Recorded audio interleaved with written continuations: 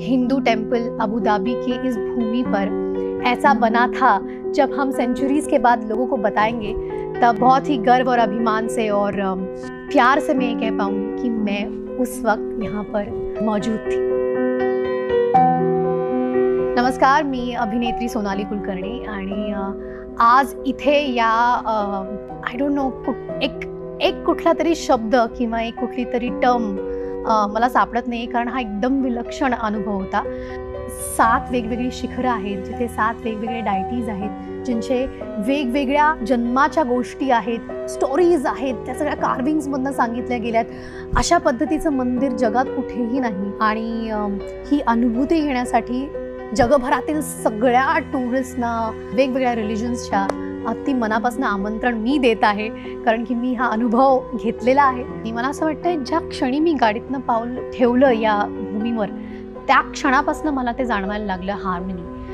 This temple is all about harmony in fact जेव्हा आपण H H मी सगळीकडे वाचते his holiness and his highness ते एच एच माझ्यासाठी ह्युमॅनिटी आणि हार्मनीचे प्रतीक आहेत आणि हे दोन जे एचेस आहेत मला असं वाटतं की ते आजच्या या युगामध्ये आजच्या या जगात सगळ्यात महत्त्वाचे दोन एचेस आहेत like we all spoke how Taj Mahal was built we will be all not just we, people after us will be talking about how this Hindu temple was built and how everybody laid their hands and bricks and energies and hard work together, blood and sweat literally. And this will speak volumes of unity, togetherness, and harmony for years and years to come.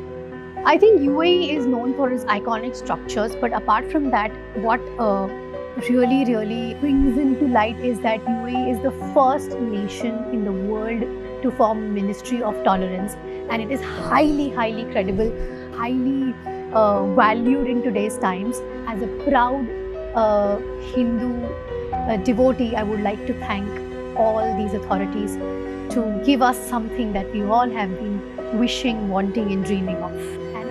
Absolutely honored uh, to be a part of this beautiful uh, structure that is being created in UAE, in, in the sands, as we say, the lotus of the sands.